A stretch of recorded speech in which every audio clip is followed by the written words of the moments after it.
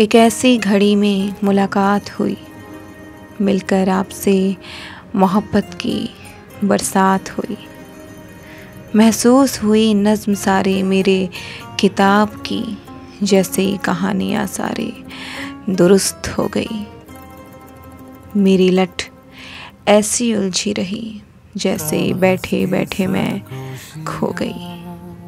अचानक देखा तस्वीर अपनी अदाकारी आपकी हमें ताजुब कर गई।